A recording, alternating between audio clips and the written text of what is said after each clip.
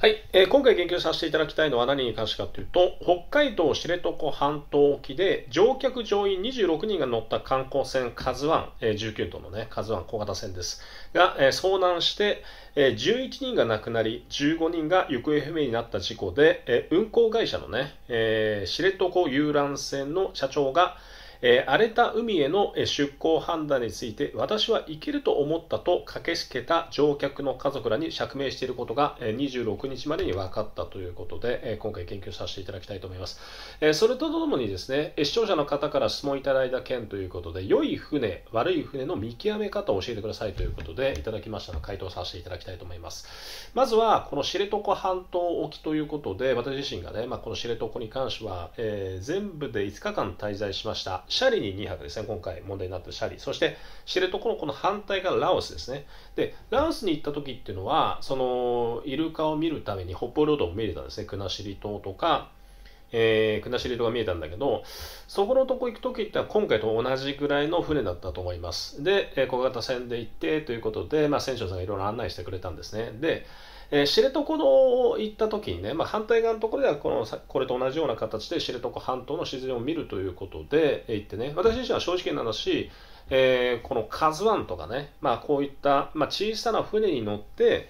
えー、行きたかったんですよ。で、自分が行ったのがちょうど1年と、えー、っと、どのくらい前かな、5ヶ月ぐらい前なんですけど、その時は風が強くて波が高いってことで、5日間滞在して全てね、その小さい船が出なかったんですね。これはもちろん安全の保障、安全をね、考えた上では、えー、もちろんしっかりとした判断だったと思うんです。そして、えー、自分が乗ったのは、えー、本当にもう半分ぐらいまでしかない大型船ですね。これは、えー、数日前の動画でアップしているので、まだ見てない方は見ていただければと思うんだけど、まあ、それは全然問題なかったです。えー、その中でね、まあ、今回、まあ、この知床のいわゆるクルーズに関しては、4月の下旬から10月まで行われるもので、このカズワンカズワンに関しては、えー、運行初日ですね、4月の下旬という他社がまだこれ運行を開始していない中で、まあ、開始して、その初日に、えこのような大惨事になったということで、えー、これに関してはね、まあ、社長が、え、私はいけると思ったと言ってるわけだけど、ここに私は認識が甘さがあったかなって感じはします。いわゆるこの注意報が出てたわけですからね、波浪注意報が。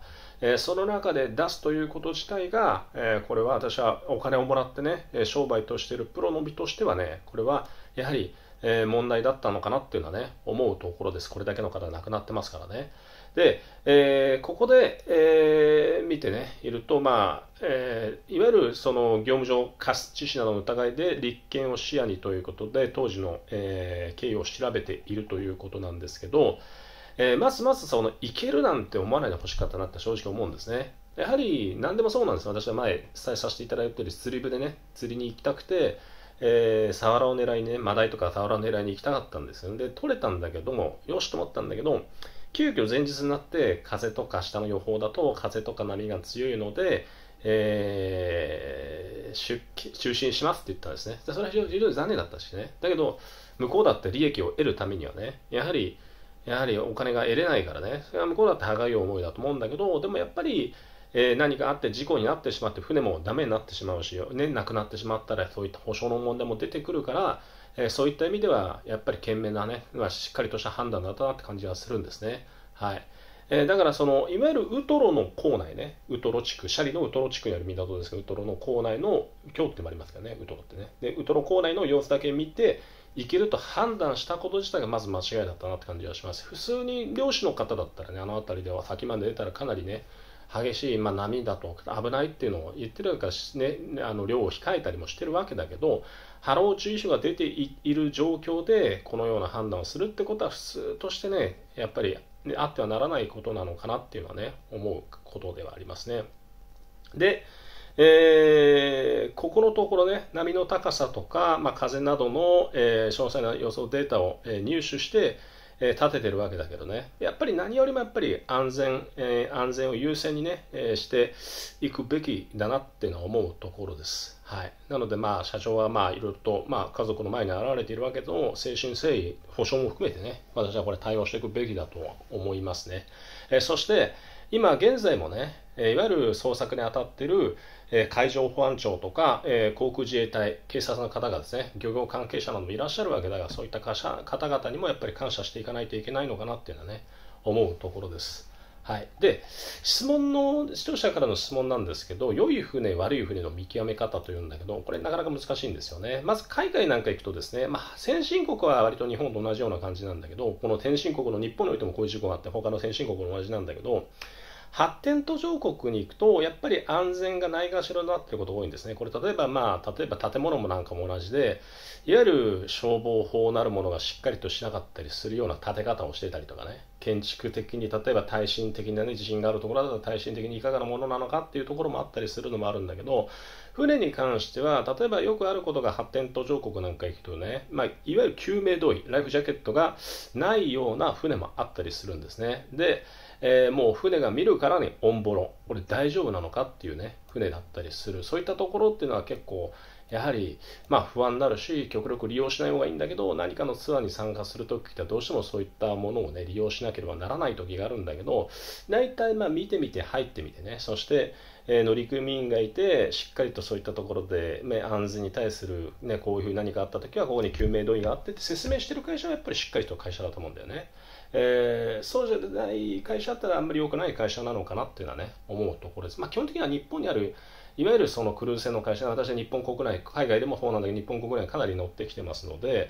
その中でまあ基本的には日本のある会社っていうのはかなり安全には配慮はしてると思うんだけど今回のようなことでねまあ他の例えばでいろんなところで今も乗ってきたんだけどそうじゃないところも少しやっぱり安全性にね、えー、不安を感じるような会社もあるのかなっていうのはね思うところです。なので、やっぱりこういう、例えば知床ね、昨日の動画でも出す研究させていただいたんだけど、知床半島っていうのは、まあ、自分が乗った大型船で。そうすると、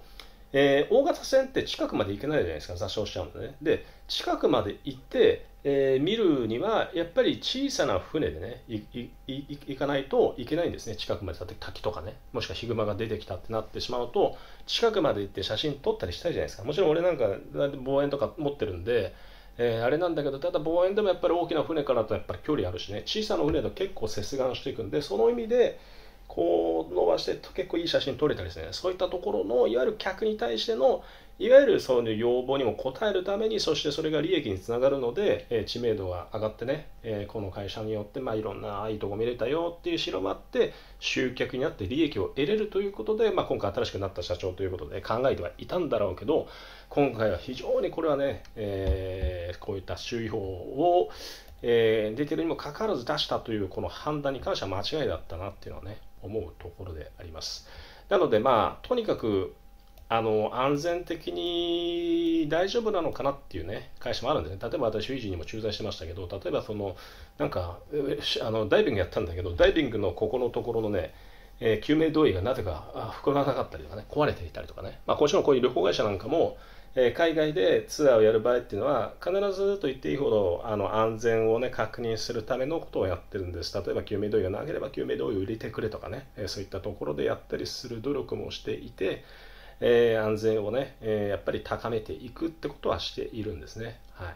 なので、まあ、これに関してはね、今回のことで、まあ、日本国内の、まあ、いわゆる遊覧船の会社もかなりね、この安全に関しては配慮していくかなって感じはするんだけど、えー、とにかくこれだけのことがな、これだけの方々亡くなられてるし、行方不明の方々も私は無事に見つかってほしいと思ってるし、えー、とにかく、えー、これに関してはやっぱり会社として社長としてね、しっかりとやっぱ対応していくべきだなっていうのはね、思うところです。ということで、今回、えー、気になる、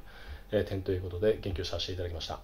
なので、まあ、今後ね、また国内、え海外などの、えー、いわゆる遊覧船乗る動画なんかも出してきますので、ぜひまたね、あの見ていただければと思います。チャンネル登録いただいてない方、チャンネル登録ね、いただければと思いますので、よろしくお願いいたします。